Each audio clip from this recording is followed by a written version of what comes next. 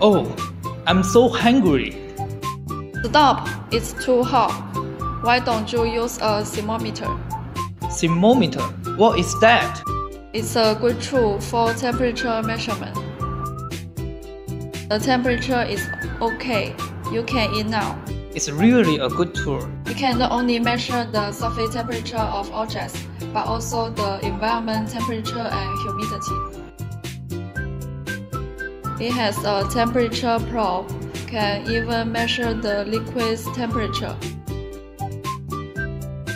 In daily life, it can be used in refrigerators, ovens, air conditioners, and other scenarios. Hello everyone, this is Michael from Shenzhen Manufacturers. Today we want to introduce our infrared thermometer, IR01B.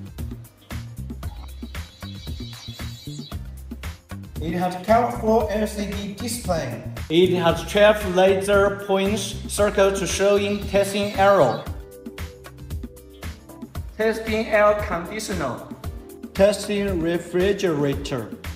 Now press the mode button and it entering the calibration mode. You can set high temperature temperature on. Press again. You can set the no temperature on. Press again. You can set the emissivity.